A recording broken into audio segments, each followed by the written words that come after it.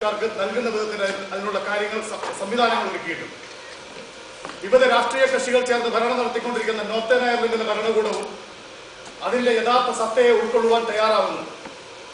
എന്നാൽ നമുക്കൊപ്പം ജോലി ചെയ്യുന്ന ഐറിഷുകാരോ ഇംഗ്ലീഷുകാരോ ഒക്കെ ആയിട്ടുള്ള ആളുകൾ വർണവർഗ വിവേചനത്തിന്റെ അടിസ്ഥാനത്തിലുള്ള നമസ്കരണത്തിന്റെയും തിരസ്കരണത്തിന്റെയും ചൂണ്ടുവിരലുകൾ പലപ്പോഴും നമുക്കെതിരെ നിഷ്കരണം ഉയർത്തുന്നുണ്ട് എന്നുള്ളത് നമ്മളുടെ ഓരോരുത്തരുടെയും അനുഭവങ്ങളിൽ നിന്ന് വ്യക്തമാണ്.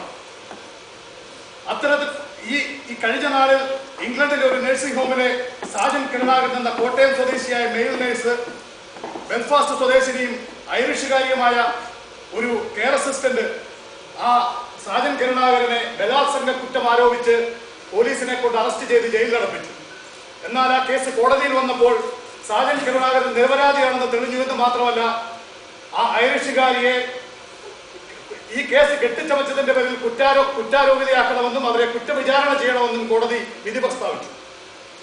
എന്നാൽ ഇതിൽ ഏറ്റവും ദുഃഖകരമായ കാര്യം സാജൻ കരുണാകരൻ അത്തരത്തിലുള്ള വ്യഥകളുടെയും ദുഃഖത്തിന്റെയും തീരാക്കയത്തിലേക്ക് വീഴുമ്പോൾ മലയാളികൾക്ക് പ്രാതിനിധ്യമുള്ള ഏതെങ്കിലും ഒരു യൂണിയന്റെയോ സംഘടനയുടെയോ സാന്നിധ്യം അദ്ദേഹത്തെ സമാശ്വസിപ്പിക്കാനായി ഉണ്ടായിരുന്നില്ല എന്നുള്ളത്.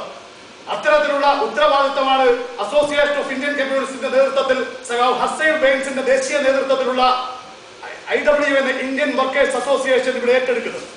ഇന്ത്യൻ വർക്കേഴ്സ് അസോ ആയിരത്തി തൊള്ളായിരത്തി മുപ്പത്തി എട്ടിൽ ആരംഭിച്ച ഇന്ത്യൻ വർക്കേഴ്സ് അസോസിയേഷന്റെ ഗുണഫലങ്ങൾ ഇവിടുത്തെ മലയാളികൾക്ക് കൂടി ലഭ്യമാക്കണം എന്നുള്ളതാണ് സഖാവ് എം എ ബേബിയുടെ യുണൈറ്റഡ് കിങ്ഡത്തിലെ ഏറ്റവും വലിയ രാഷ്ട്രീയ ദൗത്യം.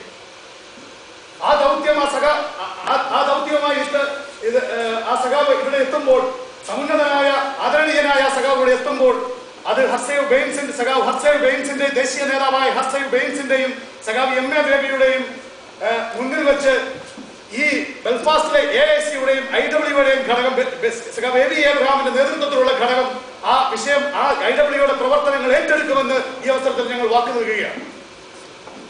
സഖാവ് എം എ ബേബിയെ കുറിച്ച് പറഞ്ഞാൽ ഏതെങ്കിലും ഒരു രാഷ്ട്രീയ സ്വാഗത പ്രാസംഗികൻ പറഞ്ഞതുപോലെ ഏതെങ്കിലും ഒരു രാഷ്ട്രീയ പ്രസ്ഥാനത്തിലെ ദേശീയ നേതൃത്വത്തിൽ ഇരിക്കുന്ന സമുന്നതനായ മലയാളികൾക്ക് അഭിമാനമായ ഒരു നേതാവിന്റെ സാന്നിധ്യം ബെൽഫാസ്റ്റിൽ ഉണ്ടാവുന്നത് നോർത്തേൺ അയർലൻഡിൽ ഉണ്ടാവുന്നത് ചരിത്രത്തിൽ ആദ്യമായിട്ടായിരിക്കും.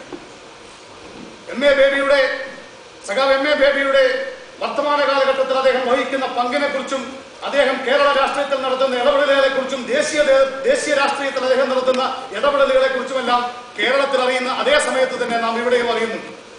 എന്നാൽ എം എ ബേബി എന്ന സഖാവ് എം എ ബേബി എന്ന ദേശീയ നേതാവ് ഈ അവസ്ഥയിലേക്ക് വളർന്നു വരുന്നതിന് മുൻപ് കൊല്ലം എസ് എൻ കോളേജിലെ മൂന്നാം വർഷ ബിരുദ അദ്ദേഹത്തിന്റെ ജീവിതത്തിൽ അദ്ദേഹം അനുഭവിക്കേണ്ടുന്ന ത്യാഗതരപരമായ പ്രവർത്തന ത്യാഗതരപരമായ അനുഭവങ്ങളെ സംബന്ധിച്ച് ഒരുപക്ഷെ നമുക്ക് അധികം അറിയാൻ സാധ്യതയില്ല. മാധ്യമങ്ങൾ അത് തമസ്കരിക്കുന്നു എന്നുള്ളതാണ് യാഥാർത്ഥ്യം.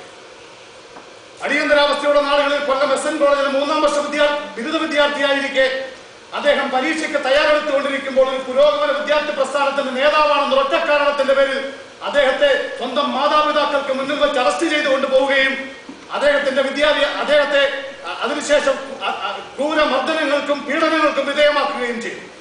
എന്നാൽ അത്തരത്തിലുള്ള തിക്ത അനുഭവങ്ങളിൽ നിന്നും അദ്ദേഹം പിന്തിരിഞ്ഞു പോകാതെ താൻ താൻ താൻ വിശ്വസിക്കുന്ന പ്രത്യയശാസ്ത്രത്തിൽ ഇടനെഞ്ചോട് ചേർത്ത് പിടിച്ചുകൊണ്ട് കേരളത്തിലെയും ഇന്ത്യയിലെയും ഒക്കെയുള്ള പാവപ്പെട്ടവർക്കും സാധാരണക്കാരനും ഒക്കെ വേണ്ടിയുള്ള പ്രവർത്തനങ്ങളിൽ അദ്ദേഹം വ്യാപൃതനാവുകയാണ് ഉണ്ടായത്.